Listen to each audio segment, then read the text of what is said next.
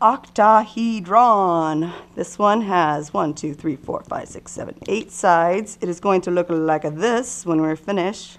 Ooh, ah. Okay. This one's a little easier to cut out. There's not as many tricky spots. Just cut out the outside, and there are two to a page. You gotta fold them, make sure you crease them really well. And then it doesn't really matter where on this when you start to put it together. This is a quite a bit easier than the last two that we sho I showed you.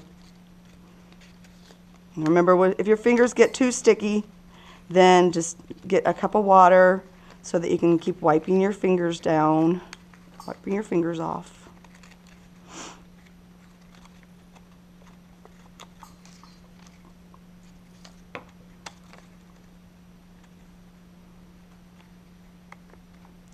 Okay, and this tab will come down here like this. Hold this direction. All right, and then your final step, when you get the last pieces here,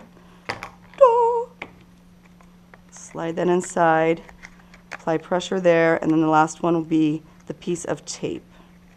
So only one piece of tape, only one piece of tape.